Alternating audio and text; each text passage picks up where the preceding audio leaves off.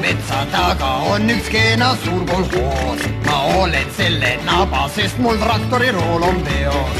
las mürtsub traktor, käed täis on töö, ees sooja rahvad ja taga neeguöö. Need meie kolhoosi plikad on kõik siidis ammetis, neid muusutan mina ikka siis, kui puhkan ammetis.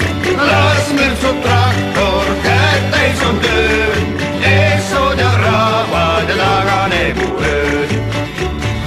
finantsid mul on korras, need kõik hoiukassa peal. kui Jaanu vaevab harva, küll siis konjak maitseb hea.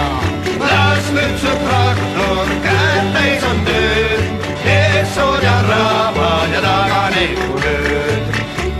kui naise võtan viimaks ja ma perekonna loon, siis traktori kabiini oma naise ükskord toon. las mürtsub traktor.